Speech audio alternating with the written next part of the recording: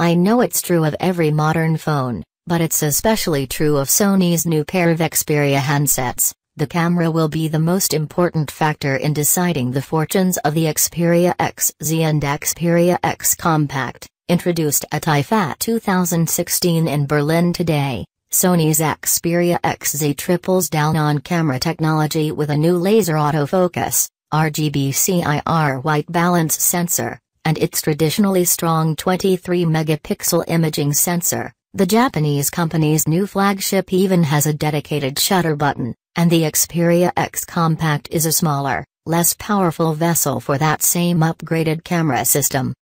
One of the reasons the camera is going to be so pivotal is that the rest of the specs are not all that impressive. The Xperia XZ has the Snapdragon 820, which is hard to beat, but it only offers 3GB of RAM, 32GB of storage, and 1080p resolution alongside that chip. The 2,900 mAh battery is outmatched by 3,000 mAh cells in thinner and lighter phones like the Huawei P9, the X Compact steps down to a Snapdragon 650 with 720p, which admittedly is probably sufficient for its 4,6-inch size, but it's definitely not cutting edge, and the same is true of the Android Marshmallow OS version, not bad, but not the latest, and not distinct from other flagship phones you could have bought at the start of the year.